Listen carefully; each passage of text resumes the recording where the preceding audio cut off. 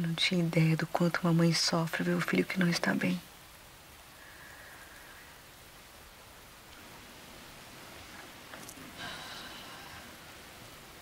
Vou preparar uma refeição para a senhora. Hum. Que alegria ouvir o barulho da chuva. Sim. É calmante. Eu acho que é um presente de Deus pro meu filho Lemuel. Ele é a coisinha mais linda que eu já vi. Eu também acho. Ai.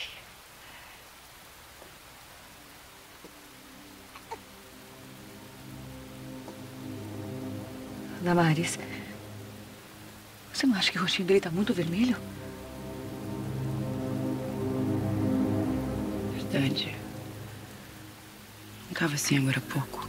E o Senhor feriu a criança que a mulher de Urias teve com Davi. E a criança adoeceu gravemente. Chama o Davi. Deve ter alguma coisa daqui. Chama, vai!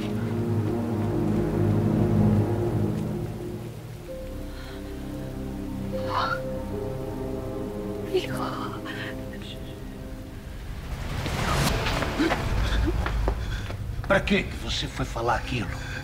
Por que que você foi se confessar? Ninguém sabia de nada, Davi. Você confirmou os rumores entre você e Batseba. E agora todo Israel vai ficar sabendo o que vocês fizeram. Me deixa! O que, que você acha que vai acontecer com você, Davi? E a sua reputação? O que está acontecendo?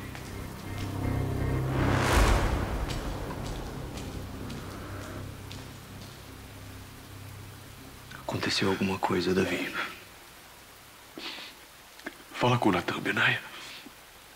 Ele vai te explicar tudo. Eu preciso de um tempo. Rei Davi, a senhora Batseba está chamando o senhor. Tem algo de errado com o bebê. Eu sei. Diz pra ela que eu vou fazer o que eu posso.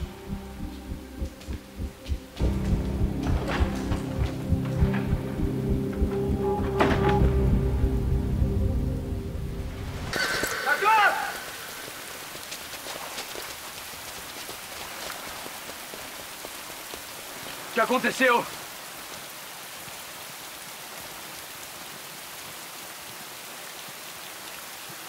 Davi pediu que me explicasse. Deus me mandou para falar com Davi.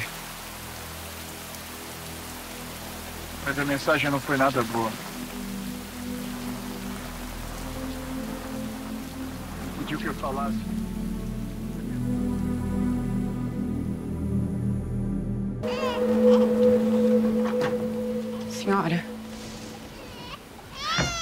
Falou com o Davi? Ele só disse que vai fazer o que pode.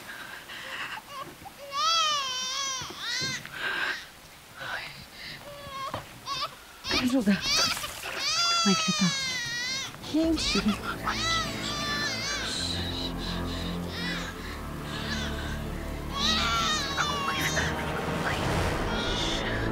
Filho, filho.